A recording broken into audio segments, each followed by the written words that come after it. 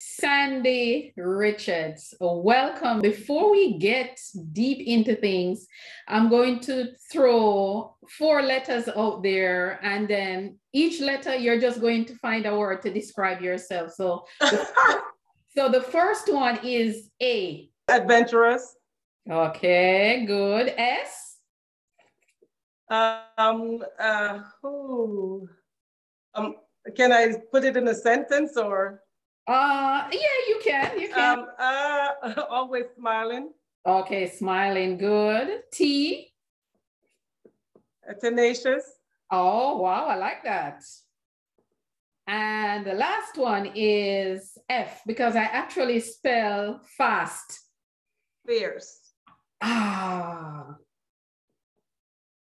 I like that. I yeah. like that, Sandie. That's the, that's the yeah, I'm, I'm fierce. And what I'm going to do, we are going to start off with fierce. Tell me why Sandie Richards is a fierce competitor. Well, um, first of all, when I get on the line, it's just me. And um, I'm fierce because no matter what you do in that race, I'm coming there to beat you. So that's being fierce. I don't care who you are. I'm just focused on me and I want to win. So I that's like, a part of being fierce and, you know, a part of being determined as well. I like that. I like that, Sandie. So going back now, I want to go back a little bit in time. I want you to tell me about Sandie as a little girl. How did you get involved in track and field? Where did you went to primary or basic school? Just some general information about you as a little girl before you get to high school. Well, I'm, I'm from uh, Chapelton, Fort Pass. I was born and raised in um, Fort Pass. You know, you have um, Maple Fort Pass, and you have Chapelton Fort Pass. It's in Clarendon, right? Yes, that's it. I'm a Clarendonian child. Yeah, in the hills of Clarendon. A lot of good people come from Clarendon. my, mother is, my mother is from Clarendon. I don't know Clarendon, but my mother is from a place called Sanguinetti or something like that. I've heard of, uh, but I've never been there. So okay. I was born and raised in um, Chapelton Fort. Um, grew up in Sutton's dis- mm-hmm. district. Mm-hmm. Um, and, and, you know, as us as Jamaican in school, we do a lot of, you know, sports day and stuff like that. So I start, um, you know, uh, participating in running in um, primary, not primary school, but basic school. And then move from there to primary school and then Woodall College School. Um, Woodall College, that's where I pick it up a, a notch. I, and I, I wasn't running to say I want to go to the Olympic Games. I just run because I like it and he gave me um, running gave me self-esteem because I usually win those races. So people like, oh, you're good, you know, you, you beat this guy, even boys, and you know. So you would have competed at the JT, what to call it, the J J J J JTA or something like that competition. You mean J Trays? you're talking? No, not the J Trays. I think they call it the JTA, JTA. Oh. Parish oh. championships. No, you bring in stuff up in me that I don't know. well, JTA, really? Uh, yes. Mm. Yeah. All I know about is um, uh, audit school and high school okay. sports day. Mm-hmm. You know what I mean? We do sports day a lot. And um, usually we name the houses after famous people in Jamaica. So I, I'm not familiar with the JTA. It probably was there. It's been 37 years, so who knows? um, yeah, yeah so that's how I started you know, doing the um, crocus bag races and stuff like that. And in Jamaica, we do like uh, the egg in the spoon race, and you run with that as a kid. It was pure fun. So um, I start getting a lot of attention that way, and I was, oh, this can, you know, do something for me and my self-esteem. So that's how I started, just pure fun and to get attention, actually, so to be honest with you transition to high school. You went to Clarendon College, right? Yes. You're a C, you're a CC girl. Yes, CC. Tell me about that transition. So um, it's funny. I always tell my sisters that I have guardian angels, right? And ever since I was a child, I mean, I can remember eight years old. I think I, I know I have guardian angels. So at Woodall College School, there was um, a teacher, a PE teacher. He was a regular English teacher, but he's my PE teacher as well. And his name is Ju- Mr. Junior, I used to call him. And um, he said, "Oh, Sandie, you can run." And then um, he asked someone from Clarendon College, was Mr. Green. This is the white guy from England who was the track coach there. Brought him up there to watch me run, and that's how I ended up at Clarendon College. Okay, wow. Yes. So you actually you got what we would call a buy into into Clarendon College. There you go. That yes, yes, that's what got me into Clarendon College. I was um 12, uh, 13 years old yeah, and that's how I got there. And then I started running. I was the only girl on the team that was running well. So I hang out with the boys a lot. And, you know, so the, the guy, you know, Clarendon College men, boys team was winning champs. So yeah. I want to, you know, I hang out with them a lot because I was the only girl that we didn't even have a relay per se. So. So were you always a quarter miler or you started out with the sprints like many and then you get to like, tell me about um, I, you know, okay, so back to I always want to win, always win in the 400. So I thought, okay, this is my event. I could run the 800, I could run the 200. I even try long jump, you know, whatever they needed me to do, I was good at. But Very I did yeah, I did not want to go around the track twice, and I did not want to do long jump. So I was good at the 400. So I figured, okay, if I want to be good at one thing and win a lot of things, I have to I uh, picked the one I enjoy the most, and that was the 400. So going to Girls Champs, Girls Champs was around back in that time. So you going to Girls Champs was never a problem to make the team because you were like the top female at yeah. college at the time. Yeah, it wasn't a problem. I was always at champs because uh, technically I was maybe it's about four or five girls on the team and I was the fastest one. So it, you know, we didn't have a problem. I didn't have a problem at all. And they take me in the 800, the 400, the 200, the relay, all of that. So I really didn't want to do that much events. So I remembered my last year at Champs, they put me, I won the 400 in 30 minutes after I run the eight. So I just throw oh. myself in the bank. That's tough. That's a tough yeah. double. That's a tough. Yeah, I couldn't, I mean, I didn't want to lose. I hate losing. So I know I wasn't going to win the eight because I was tired. I got to the 600 meter mark and then that was it. I just decided I am not going to lose. So I just throw myself in the bank at the stadium. At least was, you, it's still least, funny till this day. at least you give your your school um, some valid points winning I this. Mean, we weren't gonna win, we weren't we weren't going to win champs. We weren't going to be in the top five. We weren't going to be in the top ten, maybe. Well, probably possibly the top ten because I won the 400. So you know that could put us in the top ten. But we weren't going to win. So to you know overwork myself for and no I'm reason glad, at all. And I'm glad you mentioned overwork because it has been an argument for some time now that the junior athletes they are being overworked at champs they're running multiple events they're running 100 200 some 400 your thoughts on that? Do you think that athletes are actually being overworked? Is it possible? Yeah i think so. I mean but it, there's two ways around. There's two ways. Where yes they're overworked and then the other end is for points to get the glory, you know what I mean, of champs. But I, I feel if, if um, for example, if I, Sandie Richards, is at champs and you don't see any way of winning champs, why would you put me in all those events for no reason at all? I already show my talent in the 400. I already showed my talent in the 200. So why put me in the 800? We are not going to come in the top five. So that's where I think common sense should step in. You know, and and because after champs, we have other, we have Penn Relays. There's we have the teams, right? We have Carifta games. We have, you know, possibly the world championships that year or the Olympics. And you're never too young to make a team for experience. And I'm glad you say that. I, I, I like how you're segueing because I remember Jacqueline Pusey, who I'll be yeah. interviewing next week, she made the Olympic team when she was 16. Yes, I, I was six in the Olymp- at the Olympic uh, in, the, in the 400 at 16, and they didn't take me. I wow. was six. Yeah, um, was, that was the 84 Olympics in Los Angeles. It was that competitive. Yes, uh, but I was only 16. But the thing is, you could have taken me for the relay to get some experience. True, true. So yeah, so there's a lot of little things, you know. There yes. is always politics as well. True, that is so true because even Veronica Campbell Brown, she made the Olympic team, the Sydney Olympic team, as a schoolgirl and she ran on that four by one team. I remember I was there. Yes, yes, you were there. You ran uh-huh. in the 400 and you ran in the four by 4 mm-hmm.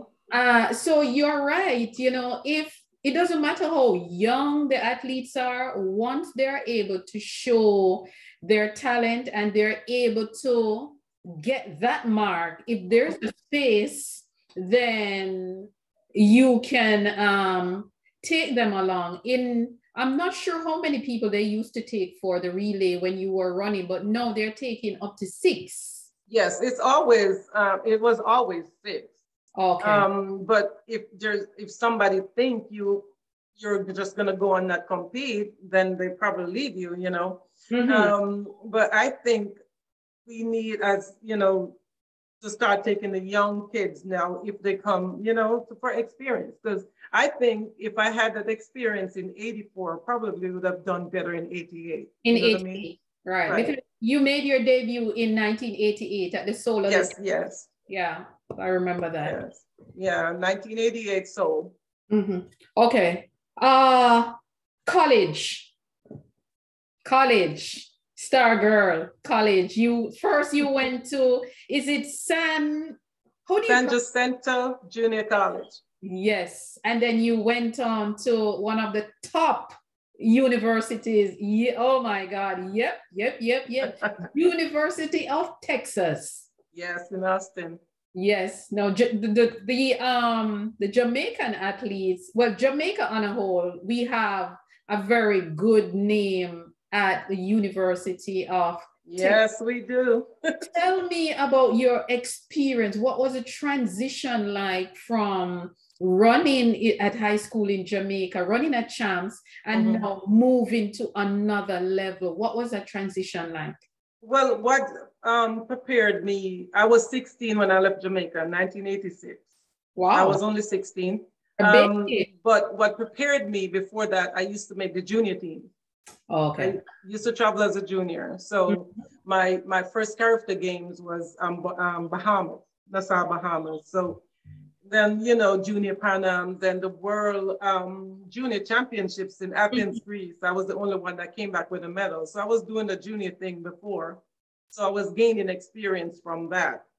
Well, um, for my at leaving at 16, I met a coach in um, called Terry Crawford. Her name is Terry Crawford. She's like my mom today. Mm-hmm. Um, she was the head coach of the University of Tennessee at the time. Okay. Was, yes, and there was Jamaicans there as well. Yes. we, we have a rich we have a rich heritage there also. Yeah, yeah. and I met her at um, 15 in Florida at the Junior Pan Am Games. Well, Kathy Rattray in, introduced me to her, and she said, "Hey, you run well. I won the 400." And she kept an eye on me. So it's funny. I was walking to the store for my mom in 1986 September. Um, um, yeah, before September, because school started in September. And I saw this car pull up beside me in Sutton's. And it was her and Mr. Mills in the car. And they came to offer me a full scholarship to the University of Texas. Wow. Yes. Beautiful. So, yeah. I, am she didn't know where I was, so she knew Mr. Mills before. And she went to Kingston, flew in, went to Kingston, found him, and have him find me in Clarendon. Mm-hmm. So um, my mom says no, of course because I'm the oldest of seven. And she said no. And I said, yes, I'm going. I didn't know where I was going, but I'm going. And we kind of pressure him to sign in that letter of intent. So I, when time come and I didn't have an SAT score. Right. Um, there was a hurricane in 1986, so I couldn't get to Kingston to get my, you know, SAT. So that, okay. this is the reason why I went to San Jacinto Junior College first. Okay, beautiful. And that offset the SAT score. Okay, good. Yeah so I went and whoa, that was it. And it was fun. It was depressing. For the first two years, I was depressed because okay. I have no family. From home and yes, homesick. Right. And I was young. Tell me so. about that. Tell me a little bit about that. How did you overcome? Well, I know where I was um, coming from, right? And I know I have, you know, my sisters, they're looking up to me because I'm the only one from the family that run, you know, mm-hmm. you know, on TV and stuff like that. Because we right, right. came from a poor family for, you know, your your your upbringing is your upbringing. We're Jamaican, so we right. we make do with whatever we have, right? Oh yes, so we do. It's we no. Problem to be. It's a problem to be poor, but it's not a problem to be poor. You know what I mean? Yes. Make me stronger for mm-hmm. sure. So I I was determined to not quit, and I was determined to not lose my scholarship and go back home because what would I go back home to? And what would I do if I go home? It's not like now when you have athletes, you can stay and make it home because we figure out the formula, you know. So yes, yes, we, we figure out the formula, even though we should let some athletes go to school if they want to, but that's mm-hmm. another story. Yes. Um. So yeah, I I was depressed. I wrote a letter home every single day of the week. Wow. Every day. After I mail one, I mail the other. So I became friends with the lady in the post office. and if I have no money, they'll mail a letter for me. So, mm-hmm. you know, I found a way to survive. Yes, yes. Yes, and then the second year, then me going to San, San Jacinto brought in Michelle Freeman and other Jamaicans. So I felt, you know, I had company now, so it was yes. a little bit better, you yes. know, to hang out with my fellow Jamaicans. Jamaicans. But right. I was the first Jamaican there.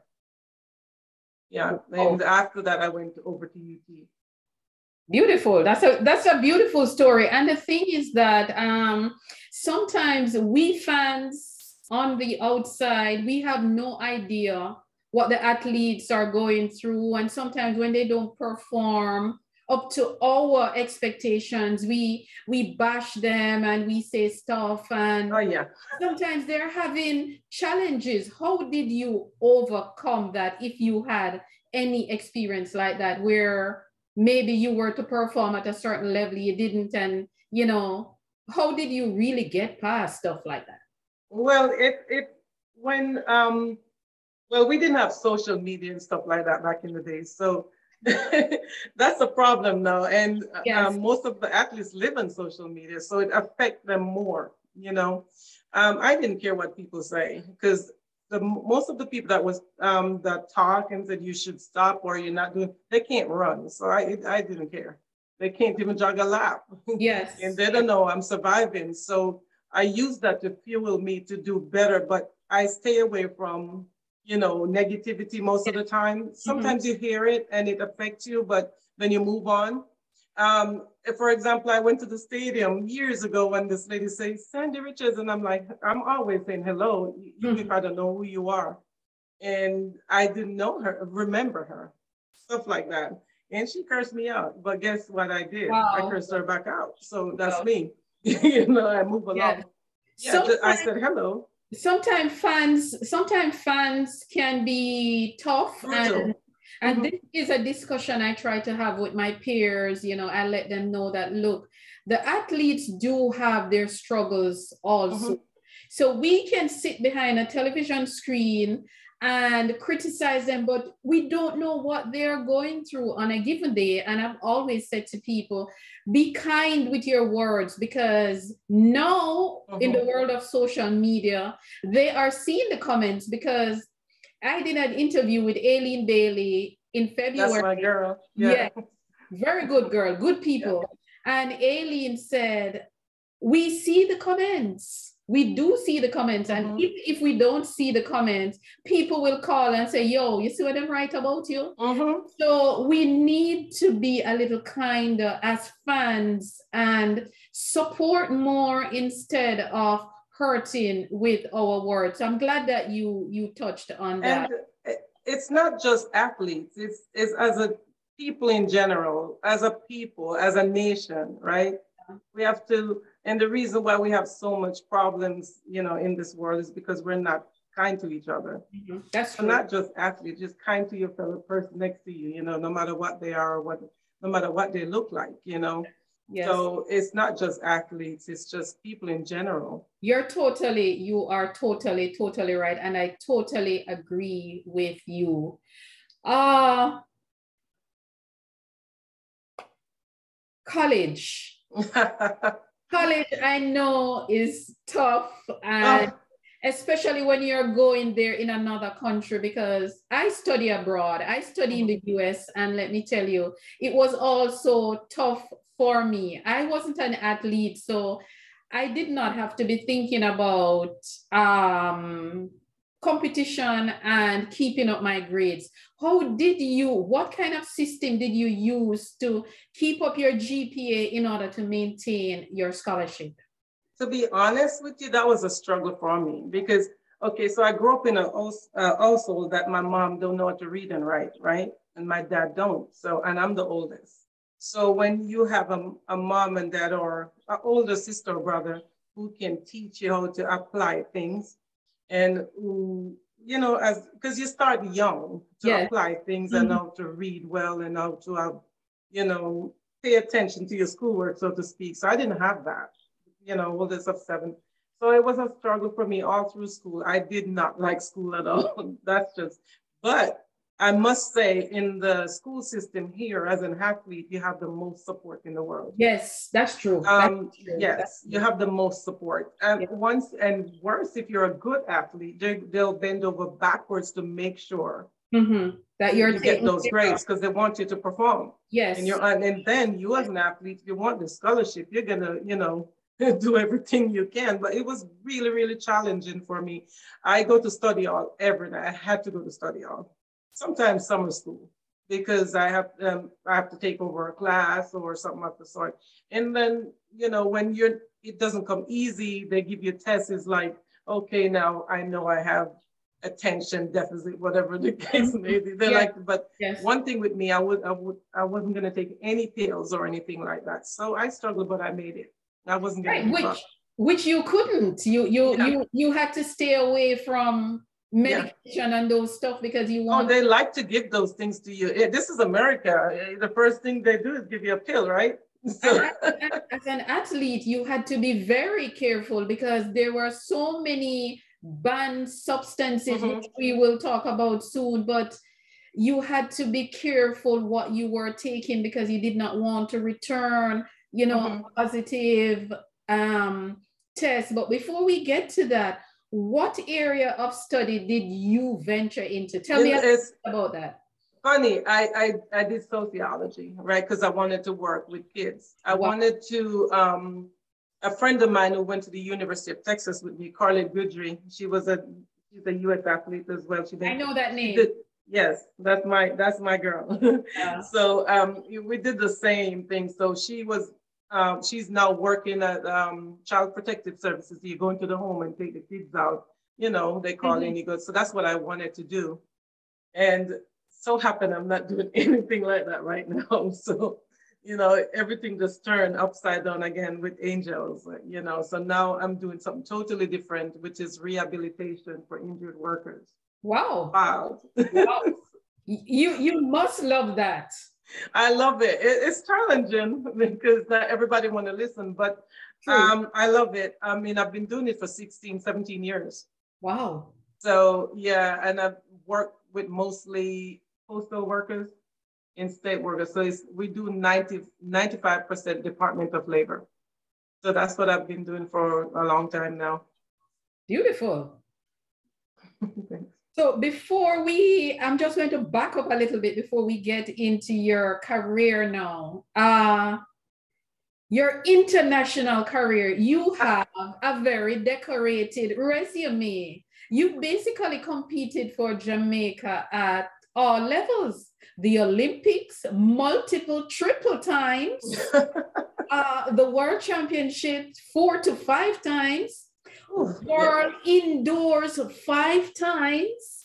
CAC mm-hmm. games, Commonwealth games, the Carifta games, yeah. World Junior. Oh my God, I'm tying up my tongue. You yeah. have done a lot for Jamaica, Sandie Richards. You have done a lot. And I'm not sure how much people know that you have done for Jamaica, but you have done a lot. And as a track and field fanatic, I want to tell you thanks. I mean, I've watched you so many times. When you talk about dependable on a four by four team, give the baton to Sandie Richards. I give it all I have when I, I get know. that baton. I know. What was it like for you being on different teams, the World Championship team as opposed to the Olympic team? Well, um, okay, so I've been to five Olympics and eight wow. World Championships that I remember. Wow. Um, uh, whew, as you say, five or six indoors and Commonwealth. Yeah. When you say that, I'm thinking, whoa, it's a lot. Yeah. It's, but I started young. Yes. You know? yes. I started young, of course, and as I said, fierce and determined, right? So um, track is my life. Track and field is my life. And when you love something, it's like I'm going to use another um, analogy, two analogies. Uh, Merlene Ottey, right? Oh. She loves it. That's why she run as long as she did. Yes. Um, I, and then I'm going to use another analogy, which is Tom, Bra- Tom Brady. I'm into football. So, you know, when you love something, it's hard to give up. So, I mean, I'm glad. Yeah. I'm glad. I'm going to stop you a little bit. I'm glad that you touch on Merlene Ottey and Tom Brady. And I'm going to go back to sports fans again. Sometimes we are so we are so savage with our words because I remember I used to hear people say, Oh, Merlene reached a certain age now, she should retire. I said, Come on, this is something that she loved. And Merlene went to six Olympics yes. for, for Jamaica mm-hmm. from 1980 to 2000.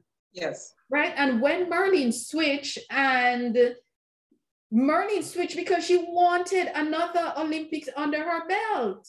Well, that yeah. too, and and just because things, yeah. Yeah, sometimes we get tired of treatments, you know, yeah. and she had Merlene had options.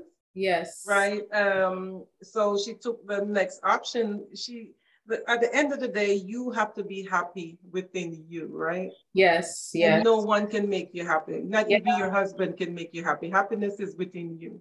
So um, she wasn't happy anymore competing for Jamaica and she yes. saw an opportunity. Yes, yes. I, I, was one million percent behind her with that, you yeah. know, because I'm, I'm an athlete and I'm a person and I put myself where she was in a sense.